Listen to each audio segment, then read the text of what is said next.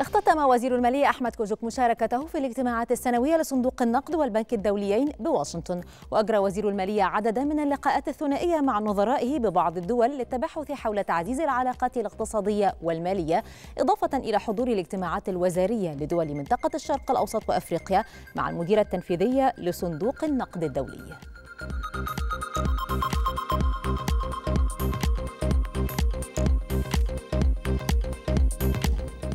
عقدت وزيرة التخطيط رانيا المشاط ومحافظ مصر لدى مجموعة البنك الدولي اجتماعات ثنائية مكثفة مع مسؤولي الحكومات وشركاء التنمية بواشنطن.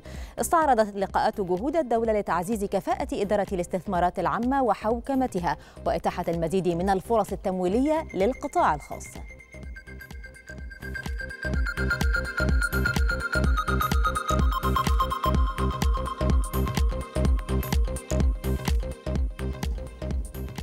قام وزير الاستثمار والتجارة الخارجية حسن الخطيب بوضع حجر الأساس لمصنع شركة أوتسوكا اليابانية لتصنيع المغذيات الصحية بالعاشر من رمضان.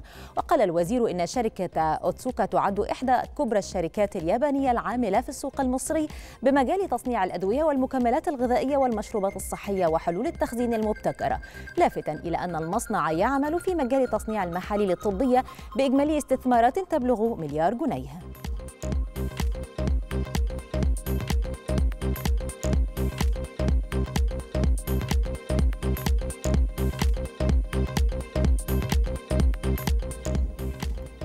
عقد وزيرا الزراعة علاء فاروق. والتموين شريف فاروق اجتماعا مع وزير السياسات الزراعية والغذائية الإيطالي فرانسيسكو لولو بيجيدا وأشاد وزير الزراعة بالمبادرة الإيطالية سوق اليوم الواحد للمزارعين والتي بدأت في محافظة الإسكندرية متطلعا إلى تعميمها في كل محافظات الجمهورية. من جانبه أكد وزير التموين أن مشروع سوق اليوم الواحد للمزارعين والمنتجات الغذائية بمحافظة الإسكندرية يعد أول سوق في أفريقيا بالتعاون مع الجانب الإيطالي وسيتم تعميمه في باقي محافظات الجمهورية تباعاً.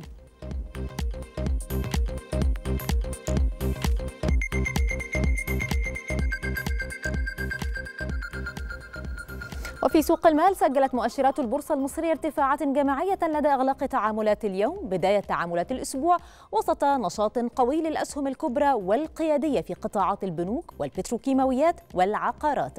وحقق رأس المال السوقي لأسهم الشركات المقيدة بالسوق مكاسب تقدر ب 25 مليار جنيه. ليسجل مستوى 2.2 تريليون جنيه وسط تداولات بلغت نحو 10.5 مليار جنيه. أما على صعيد المؤشرات فقد ارتفع مؤشر EGX 30 وذلك بنسبة 85 من المئة في المئة ليغلق عند مستوى 30812 نقطة. أما مؤشر الشركات الصغيرة والمتوسطة EGX 70 متساوي الأوزان فقد قفز بنسبة 74 من المئة في المئة ليغلق عند مستوى 7923 نقطة. وصعد مؤشر EGX 100 متساوي الأوزان بنسبة 67 من المئة في المئة ليغلق عند 11 و1141 نقطة. توقع صندوق النقد الدولي أن يتجاوز الدين العام لأوكرانيا 100% من ناتجها المحلي الإجمالي بحلول عام 2025 ورجح الصندوق أن تصل ديون أوكرانيا إلى 95.6 من المئة في المئة من الناتج المحلي الإجمالي هذا العام وسترتفع إلى 106.6 من 10% بحلول عام 2025 وفقا لأحدث بيانات وزارة المالية الأوكرانية فقد بلغ حجم الدين العام للبلاد في نهاية الربع الثاني من العام الجاري 155.36 مليار دولار.